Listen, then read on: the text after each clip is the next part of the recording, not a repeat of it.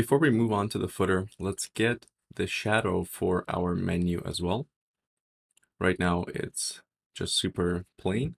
So let's go ahead and back inside of our application.scss and we will move up to the menu drawer class and just before the phone include let's add an ampersand and the before selector and inside of here we'll give it an empty content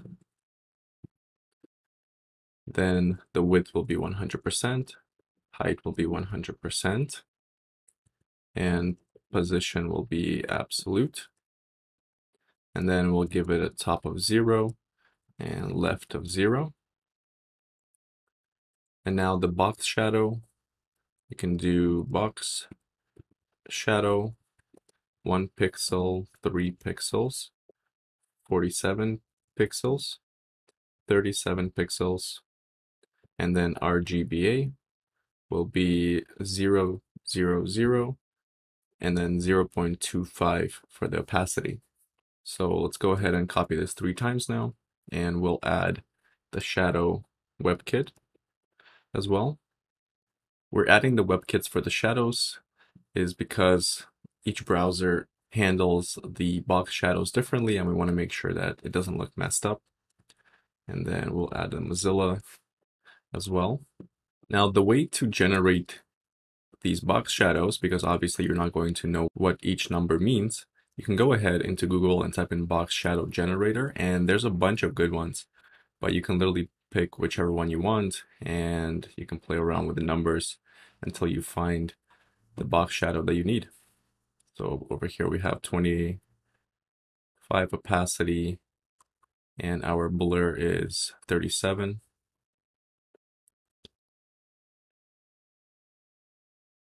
And this is pretty much what we have here now. 47 for this. And then you can just copy this whole code here and paste it into your, your code if you want to add a shadow to something else. Just thought I'd show this as an interesting tool that you can implement in your own work. And we actually need to add a few more things. So let's add the transition property. And this will be opacity. Actually, let's remove this O here. And now the Z index we'll give it negative one. So let's save this and see how our shadow looks. So right now, again, the shadow is overlapping the website, and that's because we didn't specify that it should disappear when the hidden class is active. So let's go over here and we can type in dot menu drawer and then we'll type in dot hidden, and then we'll use the before selector. And now we can say opacity equals zero. All right, perfect. So let's refresh this. And now the shadow is working as it should. Perfect. So the next thing that we want to do is actually take a look at the footer. And as we can see, the footer here has a top border. Then it has a message here that you can write a description about your, the website, and then we have some links. So let's go ahead and create that. If you remember, inside of our layout, theme.liquid, we have already rendered the footer file, so we don't need to do that again. But let's go ahead and close the header and the menu drawer. And now we can go inside of our footer file that we already created, but it's empty. So we actually need to mark up this file now and we will create a footer component and then the class name will be footer. Inside of here, we can create another div with the class name of footer inner. And also we'll add the class name of flex and space between just to kind of utilize those class names that we created before. And then inside of here, we'll create another div with the class name of footer left and we'll utilize the class half that we created as well. And then we'll create another div with a class name of footer right, and we'll add a class name of flex and space between, and then half as well. So if you remember, for the class name of half, we just put in width of 50%. And then inside of the footer right, we'll create another div with the class name of footer menu. And then we'll also give it a class name of flex and column and half as well, because we want to have two menus inside of the right side. And just underneath that, we'll create another div with the class name of footer menu as well. And then this one will be footer social. And then we can add a class name of flex and column as well. And then we'll give it half to take up 50% of the width. Now, what we can do for this footer menu, let's go back inside of our menu drawer and we'll just copy the footer menu. So we can actually just take this whole UL and paste it in here. It kind of ruined the formatting, so let's fix that. And then inside of this div, let's write build a Shopify theme from scratch. And what we can do later is actually change this to be customizable by the user. So this is all finished now, but let's go down to the social menu and we will also create an unordered list here. And then we'll create an LI. And inside of this LI, we'll have a link. So we can say a tag and then the href. We can just type in www.facebook.com. And we'll also actually create customizations for these as well. But for now, let's just keep these in, in place and we'll just copy it a few times. And let's also type in the name here. We'll type in Facebook. So let's actually redo this. Okay, perfect. So now if we save this and go back to our website, let's take a look at how our footer looks. So it looks pretty much finished already, actually, just because we've already pre-created those class names. And I just wanted to show you as well why those class names are very useful because you can just put them in and you don't need to touch CSS again for this particular component, but obviously we still need to style a few more properties for this. So let's go back inside of our application.scss and just below the menu and just above the hero section, let's create another section and we'll name this one start footer. So now let's go ahead and choose the footer inner class.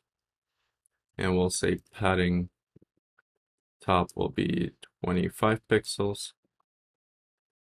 And then padding bottom will give it 60 pixels just because we want a little bit more space there.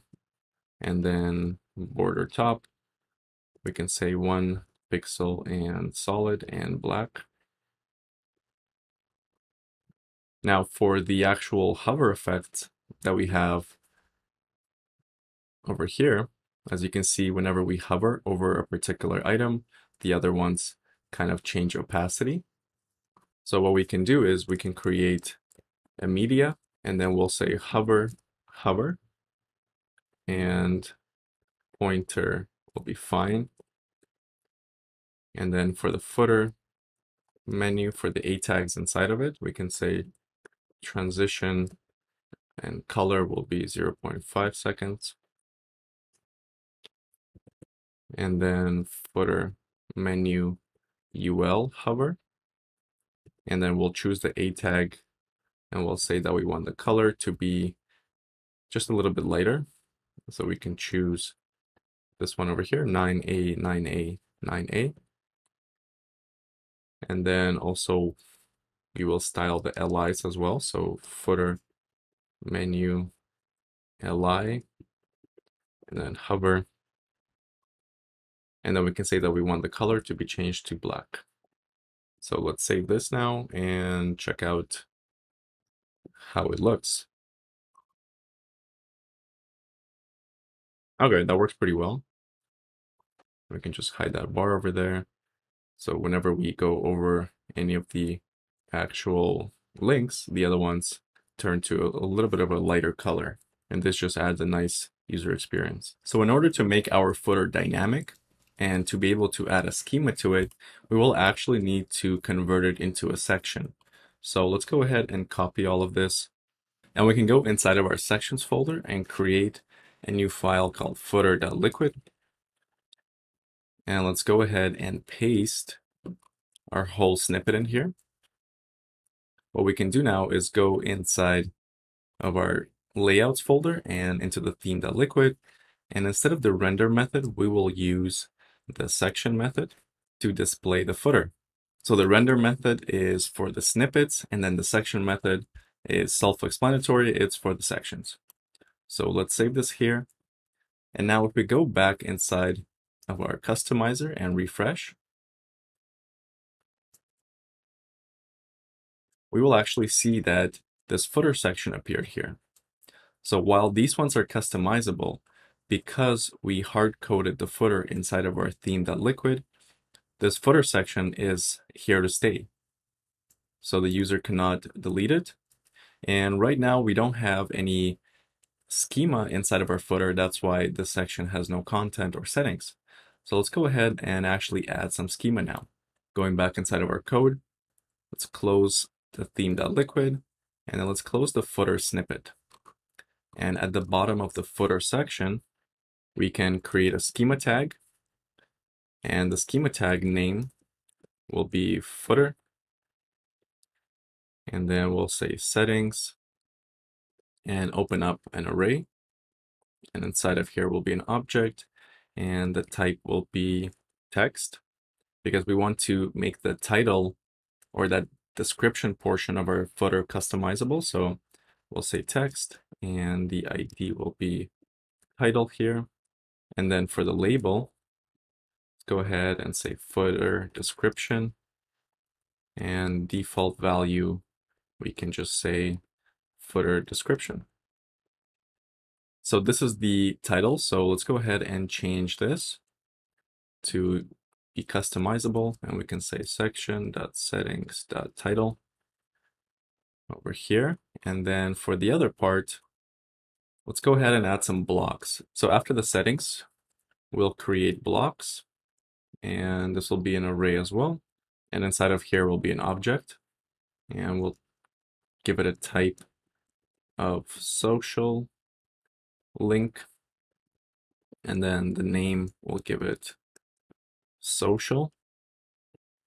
And then for the settings, we'll open another array. And inside of here, we'll have an object. And so we can just actually copy this and replace that portion of it. And now instead of the footer description, this will be the social title. And then we can just remove the default value. And let's copy this one more time. But now instead of the text type, we'll say it will be the URL. And then the ID will be link. And this will be social link. All right, perfect. So now we actually need to use the blocks. So let's go ahead and remove all of these hard-coded ones.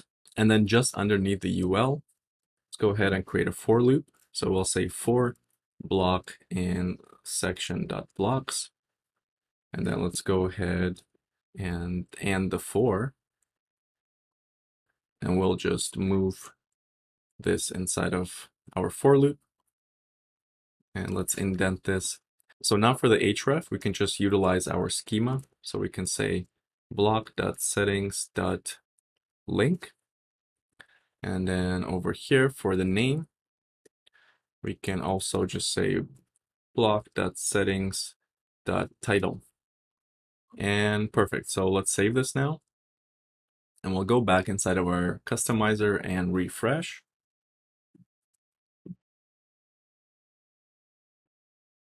And if we go down to the bottom, we can see now that our social links disappeared and the footer description changed. So let's go inside of our footer now and we can change the description.